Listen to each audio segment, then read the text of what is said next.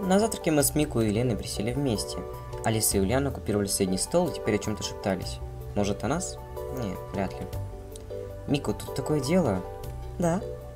Ольга Дмитриевна хочет до концерта убрать Алису и Ульяну с глаз долой. Ну, проверка, сам понимаешь.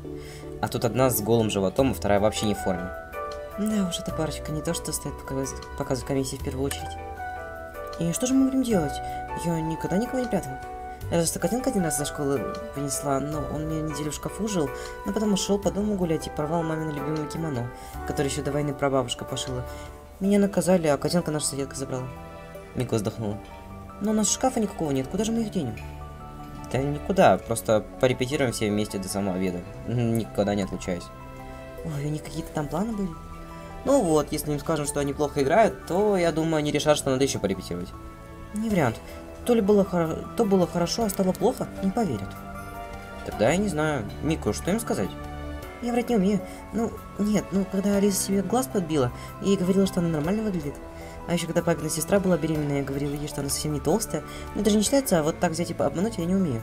Ульяна говорит, что у меня все на лице написано. Мик, Ульяна, Семен, хватит болтать, ешьте молча. Ты снова вошла в роль. Ну и ладно. Закончив сюда, мы двинулись к выходу. Алиса и Уляна попытались быстро выскочить наружу, но вожатая их перехватила. «Куда спешите, товарищи музыканты?» «Ну, я пошла. Столько дел». «Лена, иди к Славе, там краски и все, что нужно. А вас, муз кружок, я попрошу остаться». «Но мы торопимся». «Интересно, куда?» Алиса нейтрально скривилась.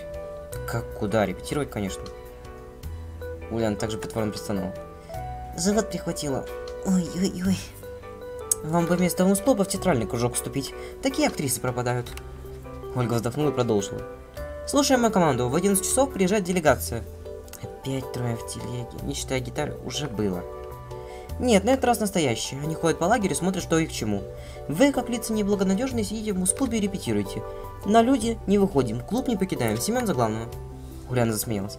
Как ты за главного? А Мик? Сенька Микулю подсидел. Вся, мис... Вся Микусика это переворот. Не бойся, уйдем в подполье все вместе. Мы свергнем узурпатора и вернем тебе трон. Не-не, не надо меня свергать. Я не узурпатор, а я заместитель Мику, по связям с общественностью. Может, выстрел на меня насмешливо, а девчонки с сомнением. Годится. И вот, заместитель, проследи, чтобы до концерта... Нет, до обеда никаких связей с этой самой общественностью не было. Не было. А в туалет? Терпи, пионер стойко переносит трудности и лишения. Ольга Дмитриевна, может, чуть-чуть поменьше трудностей и лишений? Мы же не в армии. Ладно, в туалет можно. Только быстро, окольными путями и под надзором. Алиса посмотрела на меня, потом покачала головой. Ним в туалет не пойду. Я тоже. Ой, очень не надо вас туда возить. Я присмотрю. Они же девочки. Нехорошо, чтобы мальчиков в такое место провожал. Вот если бы это была, например, тайга с медведями, тогда да. Семен бы стоял с ружьем или с топором и разгонял бы волков и медведей. Ну а здесь ведь пионер-лагерь, здесь диких животных нет. А вообще Лен рассказывала, что тут есть. А раз есть олень, значит могут быть и волки. Ольга явно перестала понимать, о чем идет речь, и только кивнула. Я поняла. Мику, проводишь или что? Девочки, я вас очень прошу, не натворите ничего последний день, ладно? Ладно. Мы направились к музыкальному клубу. Ну вот, хотя бы врать не пришлось. Ну, девчата, идем порепетируем? Мику довольно закивал. Идем. Да, гражданин начальник, ты уж присмотри, чтобы ничего не натворили. Памятник там не взорвали, воду не отравили. Уля, я на твоей стороне. Что бы ты там не замышляла, так что не ворчи. А как ты узнал, что мы что-то замышляем? А я и не знал. Ты сама подтвердила. Сильно ты ушлый, да, Алиска? Алиса была полностью поглощена своими мыслями, так что даже не отреагировала. Синий не ушлый, он умный. А еще очень хороший и порядочный. Это и плохо для нашего плана. Оля, почему у меня такое чувство, что вы что-то задумали? Я же говорю ушлый. Мика, может его под темечку и в кладовке спрячем? Шурика по голове стукни, а синий не трогайте, ему и так постоянно достается. То Алиса стукнет, то ветка упадет, то я зонтиком побила. Отшибить ему всю мозгу. Или мозг. Тут лучше сказать мозги, но в случае с Семеном можно говорить бестолковка. А что такого? Он все равно басист, ему не нужно, да, Алиса? Да чего? Рыжая снова не отреагировал. Алло, прием! Алиса, вон Клаус идет. А? Где? Попалась. О чем задумалась? Сама знаешь о чем, в клубе поговорим. Чего случилось? Мику, милая, почему у меня такое чувство, что от меня что-то скрывают? Ты такая разговорчивая, волнуешься? Ну что ты? Она отвела взгляд. Да, врать ты точно не умеешь. Девчата, колите, что вы задумали? Алиса посмотрела на меня и зловеще пообещала. Скоро узнаешь, скоро. Секреты, секреты. Мы сегодня вчетвером? Класс сейчас закончится гитарой, а не в домике что-то. А Трока вроде бы Антон Иванович увидел, увезет встречать гостей. Жалко, с ним веселее. Они там будут на минете стоять перед комиссией выпендриваться, а мы, значит, сидим в четырех стенах, под надзором этого вот Лохматова, по беспорядочным связям. Ульян, не ворчи, зато после обеда как зажжем. Ага, зажжем. Чем зажжем-то? Песенка из Мэри Поппинс? Так, кажется, я понимаю, к чему ты клонишь. Алиса огляделась по сторонам. Тихо! Может, в кустах шпион сидит. Мы в клубе, в клубе, в клубе закончим.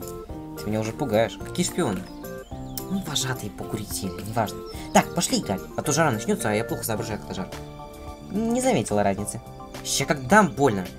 Алиса потянула за плечами, но я остановила. Девчат, можно я? Да на здоровье, какая разница? Думаешь, на ведро воды над дверью? Я тоже был с Раешкиным, и я не повторяюсь. Да нет, просто, ну, у меня такое ощущение, что мы сегодня здесь последний раз. Все вместе, понимаете? Хочется придать как момент какому-то, какой-то, не знаю, торжественный, что ли. Алиса недоуменно посмотрела на девчонок. Ничего не понимаю, ты о чем вообще?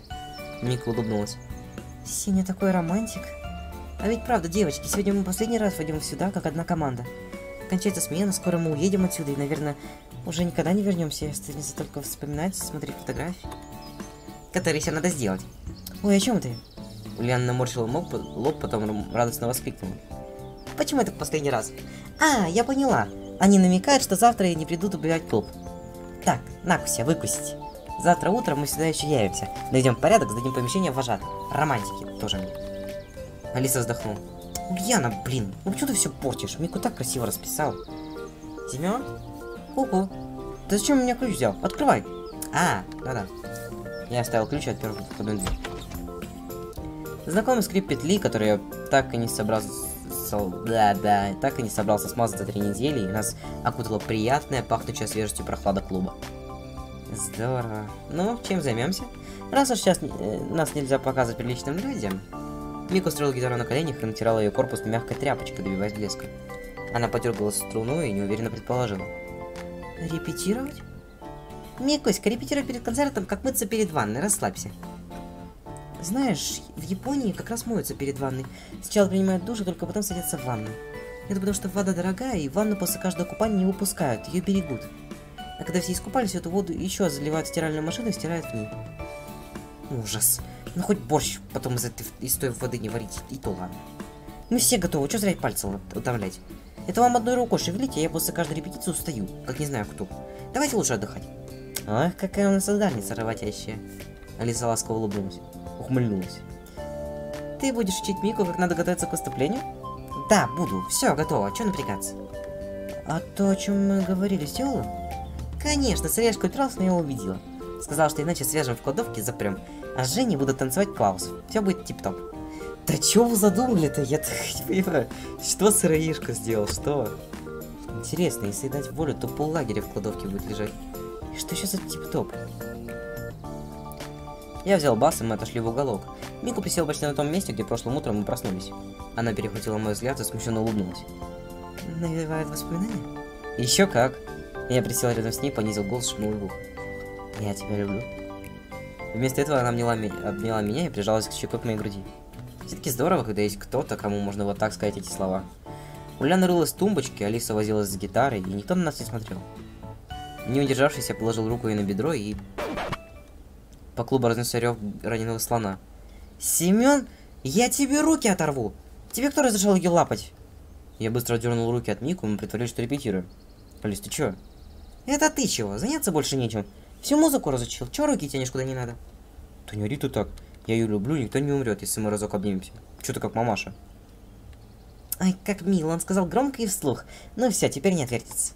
Такой момент пропустили. Надо было записать. Вон и микрофон рядом. Может, сейчас повторить, а? Да любите вы кого хотите, ты что несешь вообще? Ты зачем мою гитару лапал? А, блядь. Гитару? Гитару, гитару. Я вчера струны отпустила, а сегодня опять натянуты. Ты зачем ее трогал? Да вот, понимаешь, ну... Чёрт, двойник. Даже после ухода он ухитрился впутать меня в неприятность. Баранки гну! Не смей меня трогать, ты даже не умеешь настраивать. Она пробежала по этому моду вниз, прислушалась. Ты смотри, нормально звучит. Мику помогала. Чем вы тут ночью занимались? Да не трогал я ее. Я и не умею почти. Может, класс приходил? Ой, не подумала. Ладно, проехали, играем. Вот, наорала и обидела ни за что. Мику вон напугала. Да, милая? Да, да. И кажется, Мику была под впечатлением от моего признания. Все-таки шепот ему на ушко это одно, а вот так на весь клуб совсем другое. Алиса только отпахнулась. Некогда пугаться, репетируем. Играть так играть. Все-таки за это время я неплохо наловчился. Минка присела рядом и время от времени подправляла мне руку или просто задавала так такт похлопывания по бедру. Совсем как тогда. Ты о чем? Когда ты только начала меня учить. Помнишь, мы сидели вот так же? Помню, конечно. Мне кажется, все было совсем недавно. Неужели две недели прошло? Мне достался лучший учитель на свете. Ой, ну что ты такое говоришь? Вот мой дедушка, он действительно лучший. Правда, и учит по-взрослому. Ой, как же он меня гонял. Такую маленькую? Ну, мне уже 8 лет было, и такая маленькая. Я хотела, чтобы он меня хвалил и очень старался. Хорошо, что меня учишь ты, а не он. Ради твоего дедушки я его так не напрягался. А ты, значит, напрягаешься. Я вспомнил прошедшие дни. Глупо, конечно, учиться музыке, попав в мою ситуацию. Но, пожалуй, я и правда старался.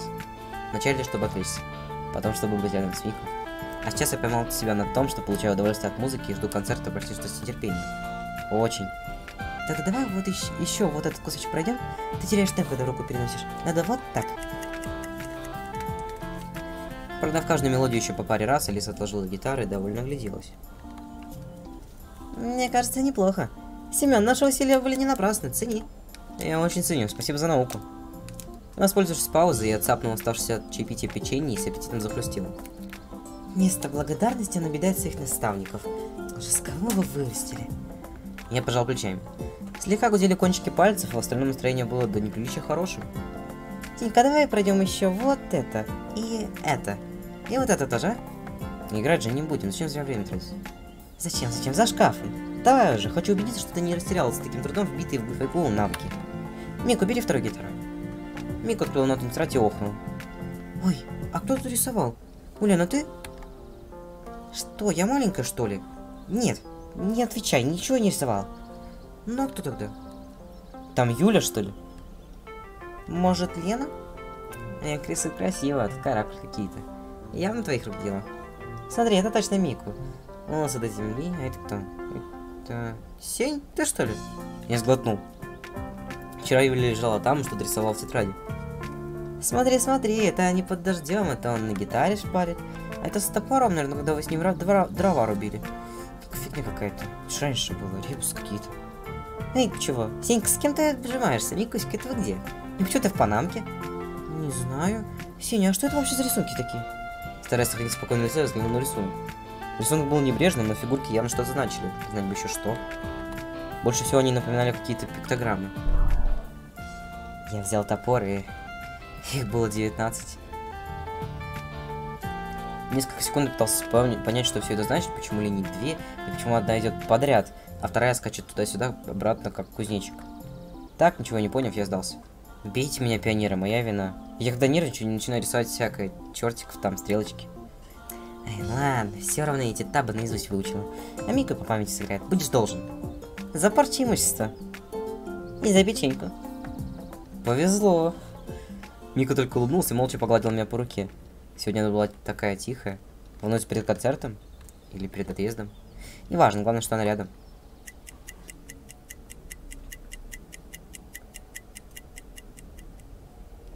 А чё, в смысле, а чё так ярко-то стало, э? Все, мы все молодцы. Хватит репетировать, а то руки устанут.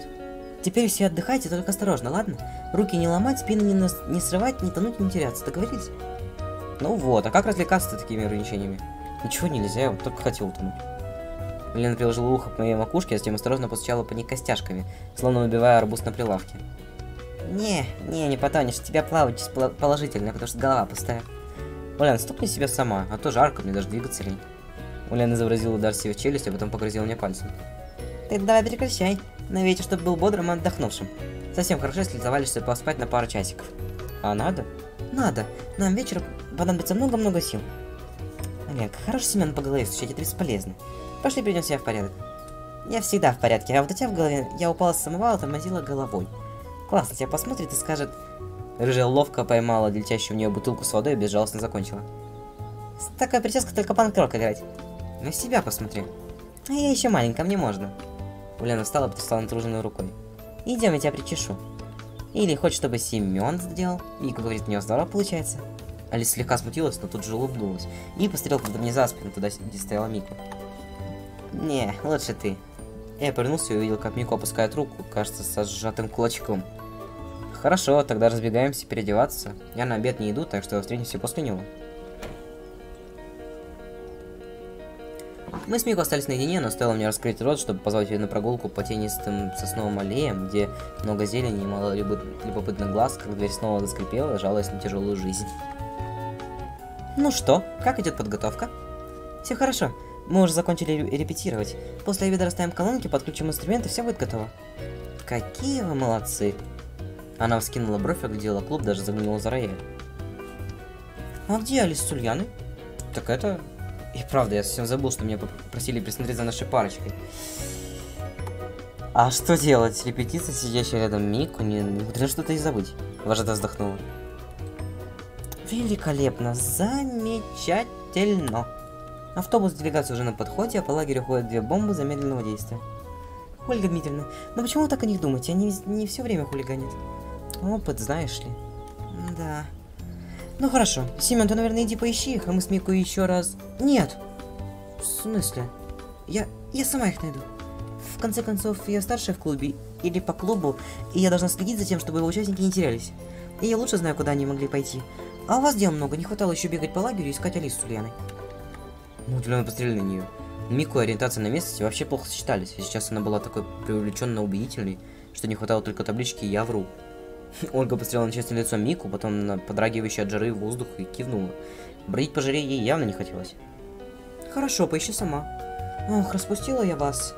Вообще-то весь отряд должен быть у меня на глазах 24 часа в сутки. Она улыбнулась и добавила. Вожатый из меня так себе, да? Ну что вы такое говорите? Нет-нет, замечательная вожатая. Не льсти не поможет.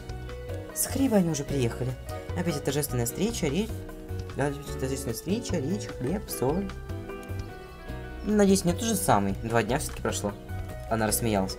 Нет, конечно, тот мы на бутерброды изрезали. Натали испекла еще один. Не знаю, вкуснее он или нет, но красивее точно. Я пойду? Она старалась не встречаться со мной глазами, но при этом едва заметно улыбалась. Куда тебе... Ну ты же не... Ну, что-то меня... Что-то... Что-то задумали а? Ну, ну, ну да, ну точно тебе говорю, точно что-то задумали. Ну ты же не идешь искать Юлиану с, с Алисой, да? Ну точно нет, ну точно. Да, постарайтесь их найти до обеда. Хорошо. Сеня, будь осторожен до концерта, не повреди руки, очень тебя прошу. Вот, значит, как. А кто будет аппаратуру на сцену таскать? А, мы что-нибудь придумаем. Она сверкнула своей обычной улыбкой и выскользнула из-за двери. Ольга помолчала, потом устала, стянула панаму и поинтересовалась. Не хочешь пойти встречать делегацию снова? Я посмотрел на солнце. Конечно, интересно было бы посмотреть, кто там приедет, но сама идея торчать на жаре и улыбаться гостям вызывала здоровое, отвращ... здоровое отвращение. Если честно, не очень. Никто не хочет. Но Марина из второго отряда мне выделит своих пионеров, так что обойдемся. Снова торжественная линейка. Пойдете показывать лагерь. Какой там лагерь? Их после обеда сдам с рук на руки Антону, он формально все еще их сопровождающий. Пусть отдохнут, и искупаются. Надеюсь, никто не решит утонуть нашу смену. Как-то вы очень серьезно к этому подходите. Раз здесь что-то может случиться? Семен, Семен, то-то и оно. Что случится может что-то угодно. Ваш забег в лес это еще не самое страшное. Она посмотрела в сторону пляжа. Придется притвориться самым обычным лагере без, всякой, без всяких аномалий и мистицизма. Иначе что? Иначе? Не знаю, знать не хочу. Никаких ЧП до завтра быть не должно. Идти из управления культуры, они-то самые настоящие. Не то, что мы с тобой. Я настоящий. Да, конечно, вот только... Она задумалась, махнула рукой. В общем, лишнее внимание на сейчас ни... никак не нужно. Осталось меньше суток до, до конца смены, а потом... Лагерь исчезнет. Ольга посмотрела на меня, как на идиота. Конечно, обязательно исчезнет. Но он официально для тебя здесь, и пионер для декораций. Просто проверка уедет, и волноваться будет не о чем. Я думал, такие вещи здесь решаются. Вот как со мной. Или с вами. Ты здесь почти месяц, и еще не заметил, что понятие «так должно быть» очень условная вещь? Видели бы вы, что здесь случилось за этот месяц? Ольга притянула руку и взъерошила мне волосы. Так в смысле почти месяц, прошло до всего две недели, алло. Да-да, расскажи мне какое-то странное место, я-то не знаю. Ладно, так что делать будем? То, что и положено делать в непонятной ситуации. Поддерживаем маскарад и приспособляемся. Приспосабливаемся. Кормим, развлекаем иностранцев помладше, а у вожатского таинственным образом обнаружилось несколько литров домашнего вина. И сколько угодно мяса для шашлыка, чтобы отвлечь проверяющих постарше. Обнаружилось? Лагерь что ли подбросил? Дождешься от него, электрик привез. А он что, тоже? Нет. Я ждал какого-то продолжения, но его не последовало. Так вас сегодня ночью не ждать? Вино, шашлыки? Антон? Ай, давай без намеков. Мы с Антоном просто друзья. Вообще-то я ничего такого не имел в виду. Ольга смутилась, затем улыбнулась мне. Нет, правда. Так что если ты собирался воспользоваться освободившимся домиком, то вынужден тебя огорчить. И разочаровать. Я сегодня ночую дома. И чувствую, дрыхнуть буду без задних ног. Вот этих. Она скинула босоножки и пошевелила пальцами ног. Не обратил внимания, что сегодня ногти на ее ногах были аккуратно подкрашены лаком в тон форменной юбки. Просто друзья, да? Уже это перехватил мой взгляд. Красиво? Вела на прощание подарила свой лак. Она заткнула, потом добавила. Я так расчувствовалась, что отдала косметику. Ту, на которой спорили. Да, симпатично. А я не знал, что вожатый можно красить ногти. Ольга удивленно посмотрела на меня. А что тут такого? Это же не кольцо в носу. В должностной инструкции написано. Аккуратный внешний вид. Пусть кто-то только писнет, что нанесено неаккуратно. Она полюбовалась перелива... переливами сине-зеленых ноготков и снова обулась. Семен, я прошу, не подведи меня. Осталось совсем чуть-чуть присматривать за нашей бандой, ладно? Я носом чую, что они что-то замышляют. Постарайся их найти и не дать учудить что-нибудь, выходящее из рамки, ладно? Я постараюсь. Уж постарайся. Из динамика радиоточки послышался шорох, воробей мирно на нем дремавший, возмущенный чирк, чирик и улетел. А на лагерем разнесся приятный женский голос. Лагерь Совенок приветствует делегацию пионеров из дружественных стран. Торжественная встреча состоится у главного входа через 10 минут. Все желающие могут принять участие.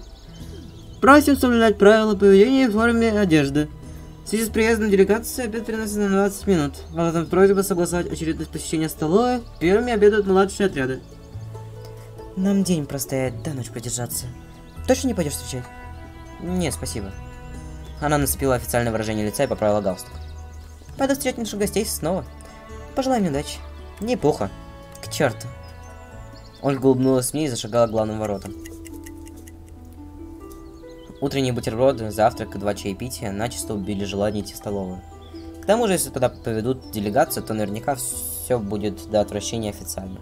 Салфетки, сервировки, подливку хлеба не собирают, громко не чавка и все такое прочее. Я именно нашел по аллее, ведущей к кружку наших техников, и я и думал, как потратить неожиданно свалившееся свободное время. За всеми этими репетициями, болезнями и их разработами у меня его почти не было. Я не очень представлял, что же с ним делать. Для начала надо было найти девчонок. Мику могла бы и намекнуть, где их искать. Интересно, чем же они занимаются? Обед девчонки, скорее всего, не пропустят, так что неподалеку от нашего домика я нашел скамейку, надежно скрытую от жары и посторонних глаз сиреневыми кустами. Кажется, Ольга просила меня взять маленький топорик и вырубить эту поросль, портившую вид, но я так и не собирался этого сделать. Очень удачно вышло. Наблюдательный пункт лучше не придумать. Вскоре на дорожке, ведущей в сторону столовой, показалась процессия из нескольких знаком незнакомых взрослых, стайки пионеров, которых я раньше не видел. Позади них шла Ольга с Антоном, и что-то им рассказывали, и выглядели они очень скучно. Не знаю, что я ожидал видеть. Негров леопардовых шкурах, кольцами носу, индусов в национальной одежде. Кое-кто из гостей был очень смуглым и черноволосым, навевая воспоминания про Алладина и горы среди песков, где нет улочек, а только одни базары, среди которых неслышно скользят верблюды и женщины с головы до ног, завернутые в чадры, бурки и прочие паранжи. Кто-то мог быть как пионером из какой-нибудь азиатской страны, так и нашим отечественником, отечественным татарином или калмыком. Выделялась парочка кудрявых темнокожих гостей, очень похожих друг на друга. И еще все они были гораздо младше Клауса и Трука, ровесники Ульяны, а может еще младше. Даже к лучшему, что Ольга встретила их с пионерами из младшего отряда. Я встал, чтобы взглянуть делегацию получше. На какую-то долю секунды мне захотелось подойти, познакомиться с прибывшими и даже показать им лагерь, но чья-то голова врезалась мне в грудь, выбив остатки воздуха. Твою ж налево, я думал, опять по голове ударили. Так это Ульян, наверное, да? Или нет? Или да? Ой! Ах. Я потер солнечное сплетение и сильно выдохнул, разглядывая белую панаму перед собой. Сперва мне показалось, что это вожатая зачем-то уменьшилась вдвое, разогналась и со сбегом нападала мне под дых. Но глаза, сверкнувшие на меня из-под панамы, отливали золотом, а не зеленью. Юля? Да, привет, я тебя не сильно ушибла. Нифига себе. Нормально она так в пионерку переоделась. Нет, я от неожиданности. Чего это мы бегаем по лагерю и бодаемся? Не мы, а я. Извини, так получилось. Она гляделась по сторонам, словно ища кого-то. Неужели снова? Нет. Мне же обещали, что все кончилось. Я протянул руку и порвал из своих ушей на галстук. Вот, а почему ты так одета? Для маскировки. Я же обещала послушать ваш концерт, но мое платье слишком выделяется и хвост не прикрывает. Ну, хоть так, бы. Не, ну, кстати, маскировка неплохая. Я пошла на склад и взяла себе одежду. Тебе нравится? С хвостом или без, из лагеря или из леса, девушки остаются девушками. Очень. Она потрогала край юбки и пыталась заглянуть себе за спину. Как вы такой только носите? Я даже на дерево сейчас забраться не смогла, когда убегала. Ну, прости. Мы по деревьям не лазим. Да и то. В смысле, как мы носим? Я, я, я мужчина. Хотя, по идее, рубашка такая же, только юбка. Только юбка вместо штанов, там штаны вместо юбок, там. Нет разреза для хвоста, очень неудобно. Да, идея пионерки с хвостом, прыгающей по деревьям, советским шеям в голову точно не приходила. На меня не смотри, я юбки не ношу. Погоди, погоди, от кого ты убегала? Я услышал, как в кустах кто-то играет на гитаре и поет мужским голосом. Я подошла поздороваться. Чё, Клауш, что ли? А это оказался не ты, а какой-то незнакомый пионер. Он сначала стал меня разглядывать, а потом... Она замялась и покраснела. Сделал очень некрасивую вещь. Девушка шлепнула по руке, пыталась запрыгнуть на дерево, а когда не вышла, то просто убежала. Вот. Какую некрасивую вещь? А что, ну, ладно, я не буду даже, я, я придумывать даже не буду. Наверное, я погуляю по, ле... по в лесу до начала концерта. Люди такие странные. Понимаю. Тебя проводить до ворот? Нет, не надо. Сегодня очень важный день. Она правила панамку и улыбнулась. Если Мика снова тебя приревнует и убежит в лес, то все будет зря. Концерт сорвется и... Юля помялась, потом покачала головой. В общем, вам сейчас нельзя никак ссориться. Это очень важно. Да мы и не собирались. Нет, а ты так думаешь. Юля прикрыла глаза, словно прислушиваясь к чему-то. С ним спокойно тоном заявила. Например, полчаса назад мы могли сильно поругаться из-за того, что Мику не сказала тебе, где будет. И не помирились бы до самого отъезда. Не шути так. Моя собеседница вздохнула. Я не шучу, но давай не будем о том, что чего не случилось. Лучше о том, что случится. Как настроение перед кон... Ой, это снова он! Мне показалось, что я слышу, как она шипит, но это, конечно, была игра воображения. Меня бросил быстрый взгляд на аллею. От клуба в нашу сторону шел Клаус. Что же Клаус там нехорошим, э, нехорошим жестом-то делал? Нехор... Рукой что-то показывал, да? Немец выглядел озадаченным. Он осматривался по сторонам, заглядывал в кусты, словно ища что-то. Или кого-то. Может, медведя? Нет, наверняка он знает, что история про медведя с балалайками, пьющих водку из самовара под ядерными ракетами выдумку.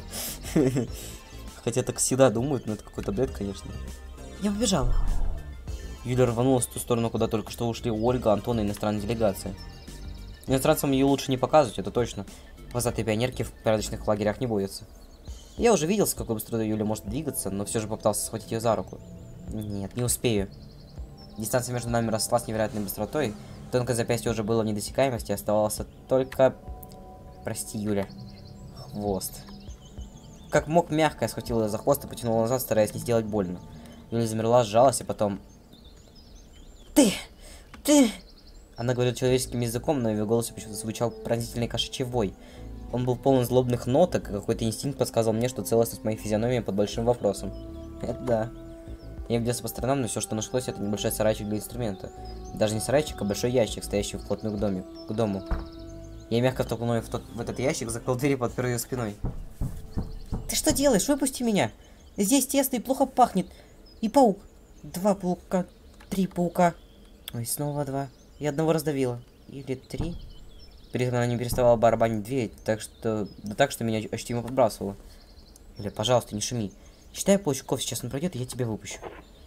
Удары стихли, вместо этого дверь принялась скрестись, да так, что с той стороны на пол наверняка сыпалась стружка. Кажется, Клаус не заметил Юлю, пока шел сюда. Он был какой-то взъерошенный, а на руке красовались свежие царапины. Да ёпта. Алло. Привет. Что с рукой? Семен, мой вопрос будет очень странный. Но есть у вас артисты? Костюмы, грим, маски, которые переодеваются. Не знаю, вроде бы что-то такое есть. Театральный кружок, но я не уверен. А зачем тебе? Туда хорошо. Я решил, что мне пора в Клапсмехле, психбольницу. Надо же, какие мы нежные. Меня эта мысль не покидает уже три недели, даже больше. Что-то случилось? Я пришел в клуб, хотел поиграть через ваш усилитель, но там никого и дверь заперта. Когда я сел с гитарой в кустах, там есть повальное дерево, и стал играть так. И вдруг ко мне подходит странная девочка, а дальше... Цефелей? Чертовщина какая-то. Что ж ты с ней сделал? Я хотел с ней познакомиться, она пыталась... Ты не поверишь? Я сам не уверен в том, что видел. Поверю. Что она сделала? Она попыталась запрыгнуть на дерево, она не смогла. Скользнула, и тут у нее... Не смутился, покраснел. Юбка очень короткая, я нечаянно, правда, совсем нечаянно заглянул, а там хвост, понимаешь? Я-то понимаю, сам в первый раз удивился. Ну, хвост и хвост, почему девушки не иметь хвост? Что такого в самом деле? Даже мило. Я думал, это костюм для какого-то номера на концерте и потрогал его. Хотел проверить, крепко ли держится. А он, ну не знаю, мне показалось, что он живой, настоящий. Из спины шипение, а скрежет по двери стал сильнее. Я закашлял, чтобы заглушить эти звуки. А она вот, поцеловала по мне руку, и я убежала. Да? Не знаю, может кто-то к номеру готовился. Что-нибудь акробатическое в костюме кошки. А на дерево? Царап. А царап это зачем? От смущения? Ну представь себе, что тебя застали в костюме кота. Хм, ладно, я не хотела ее пугать. А почему ты сидишь здесь? Опять не идешь? Да, решил пропустить, мы в клубе поели. Хорошо тебе, а мне нужно идти. Ты видел тех, что приехали? Да, я думал, они постарше будут. Нет, нас в старшей группе трое было. Я, Чука, еще Иванка. Она из болгарки, симпатичная. Он улыбнулся и обвел руками в воздухе, что напоминающий восьмерку. А остальные, кто приехал младше, и Антон обязательно потребует, чтобы я помогал за ними присматривать. А они шумные, по-немецки не говорят. И по-русски тоже. Ты когда-нибудь пробовал жестами объяснять, что потерял кеды? Мальчик жестами пояснял, что его зовут Хуан. Вот как? Так ты у нас вроде славяна, да? Что ты имеешь в виду? Она тоже с фермы и тоже помогает вожатой. Да, получается так. Он улыбнулся. Ладно, если я буду сидеть в кустах, это не поможет. Пойду обедать, до встречи. Он видел, что он нашел подальше, я открыл дверцу и выпустил зерошную злую Юлю. Она тут же стукнула меня в плечо. Ну, хоть не царапала, как Клауса. Никогда, никогда так не делай, понял? Прости, я забыл, что ты не любишь замкнутые помещения. Тот второй, ну, который вчера приходил, он же мне говорил... Он же мне говорил, не сидите, пожалуйста. Глупо, я не про это. Она покошачьи фыркнула, ее хвост подергался влево-вправо. Я... Не трогай мой хвост, это... это очень личное. Я только ему позволяю, в смысле тебе, но тому, другому тебе. Извини, у меня никогда не было девушки с хвостом. Откуда мне знать такие тонкости? Больше не буду. Она спешно кивнула. Хорошо, я понимаю, что ты не знал, но больше так не делай. Вы, конечно, один человек, но все-таки ты не он. Все, все, больше не буду. А наш кот нормально реагировал. Я не кошка. Она улыбнулась. А кто? Я это я, понял? Честно, даже не пытаюсь. Здесь только странного все понимать, голова лопнет. Если бы с самого начала так смотрел на вещи, а то бегал, тут разнюхивал, записки себе писал. Тебе легко говорить, для тебя это все привычно. Ничего подобного. Я сама здесь чувствую себя, как будто сижу в комнате, полной кресел-качалок.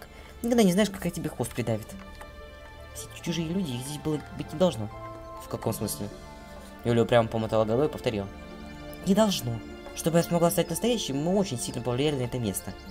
И теперь он живет само по себе. И ведет себя неправильно. А раньше ты была какая, игрушечная? Я не очень понял ваш рассказ. Юля небрежно черкнула ногтем по листку сирени, отчего тот беззвучно распался на две половинки.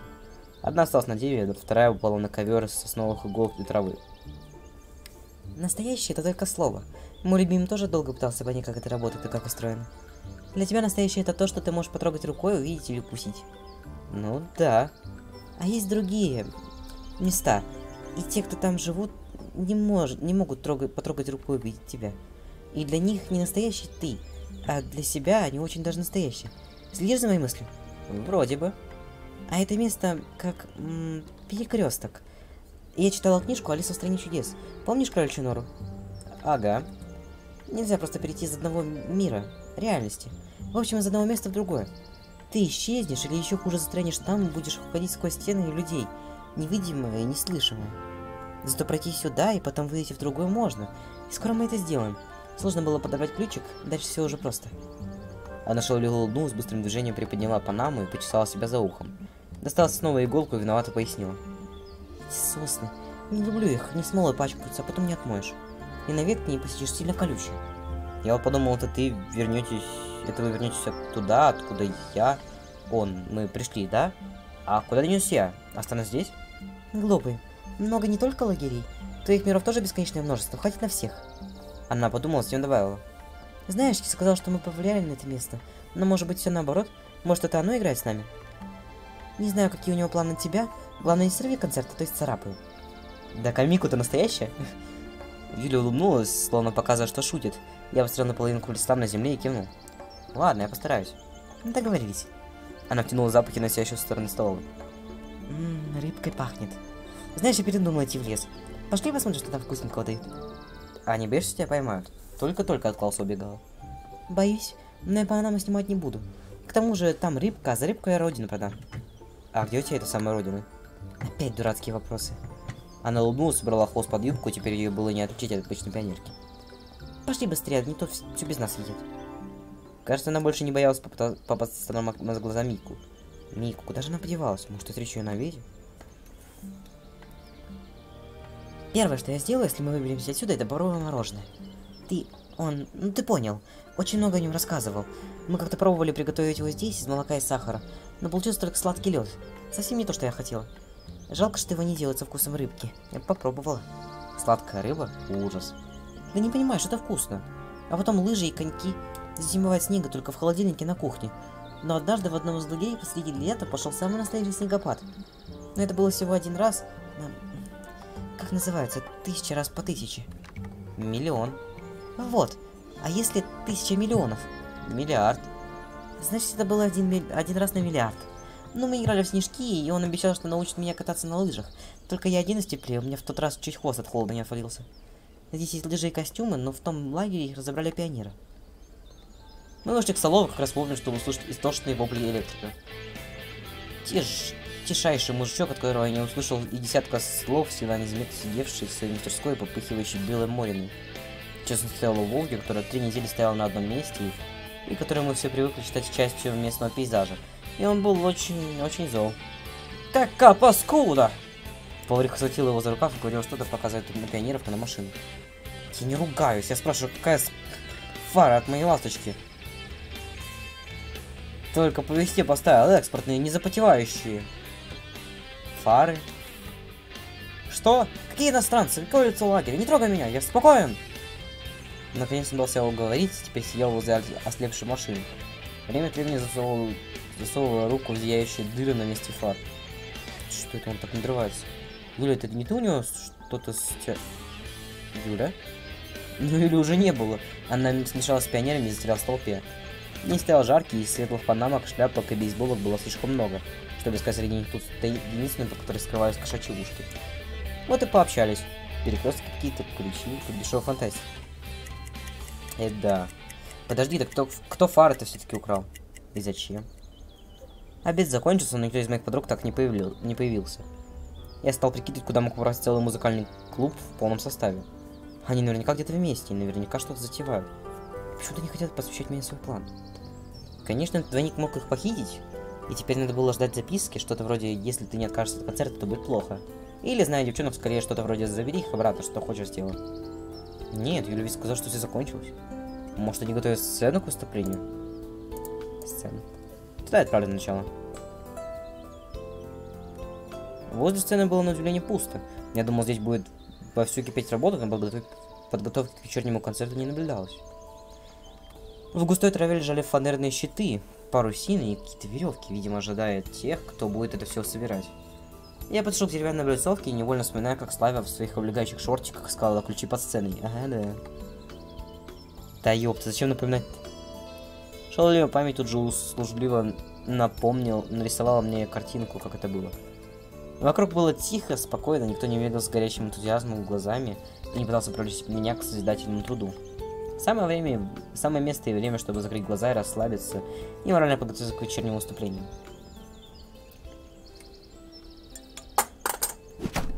Сверх что-то классное, кто-то чертыхнулся, и в землю прямо у моих ног вонзилась увесистая отвертка.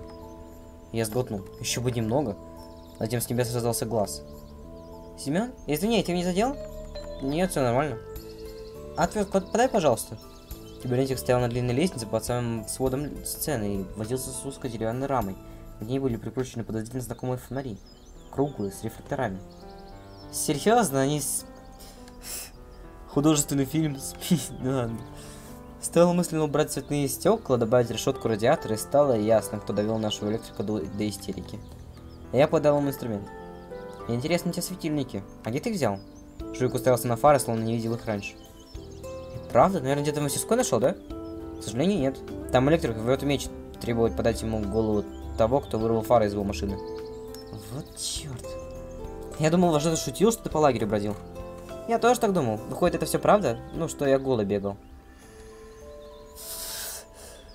Так это он по пьянке, что ли? Да. И про скворечник из гитары. Именно. Блин. Он попытался взмахнуть рукой, но чуть не опрокинулся вместе с лестницей. Тихо, тихо. Я думаю, что если возле меня с лестницы упадет еще один пионер, то вожата что-то саботует. Кстати, вожата же собиралась нас не допускать к опасным работам. Она не допускала. Тогда что ты там сделаешь? Ну, он спустился с лестницы, жадно припал к бутылке воды, стоящей рядом, потом повернулся ко мне. Ляна вчера жаловалась, что цвета музыки не хватает. И я, кажется, пообещал что-нибудь придумать. Видимо, это и есть решение. И вот это оно, сверху. Наверное. Во всяком случае, когда я проснулся, то в руках у меня был самодельный светильник с разноцветными стеклами. Получается, фар из машины выпустил, да? Электрика жалко, убивается ведь. Страдает. Обещает вандалу ноги с руками местами поменять, если поймает. Нужно будет вечером тихо и незаметно выкрутить их назад. Если я хоть немного разбираюсь в автолюбителях, то теперь он будет нести возле машины круглосуточную вахту. Возможно, с топором, утыканный гвоздями, палкой или еще чего-нибудь таким колюще режущим. И когда он увидит, что кто-то ковыряется в его ласточке, то может это кому-нибудь нанести легкие телесные повреждения твердым тупым предметом. Что-то не хочется. Меня уже били шахматными досками, предметы очень твердые и туповатые. Как ты ухитрился? Да, это. Мне родители мопед купили, и я немного усовершенствовал тормоза. Точнее, это я думал, что усовершенствовал. Оказалось, что если колодки на место не прикрутить, то он не тормозит. И я это обнаружил, когда спускался с горы в парке. А там какой-то шахматный клуб сидел, и я переехал 10 досок. 10 досок. Такая точность, ты даже число, число запомнил? Еще бы не запомнить.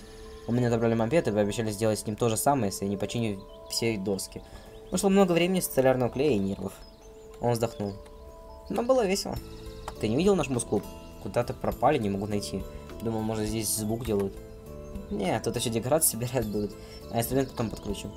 Знаешь, я их на обеде не видел. Сбежали, наверное. Будешь один играть? Да ну тебя, соло на басу все 20 минут. Ты посмотри, может они уже сидят в клубе. Идей было не хуже других. Я увидел, что дверь в клуб приоткрыта и невольно ускорил шаг. А я думаю, на этом мы все-таки закончим эту серию. Я уж думал, что уже на концерте будем играть, но походу не дождемся. Дождемся следующей серии. Всем спасибо за просмотр. Если вам понравилось, подписывайтесь на канал. Ставьте лайки. А оставляйте комментарии. На с вами был я, Марк. Всем до встречи. Всем пока.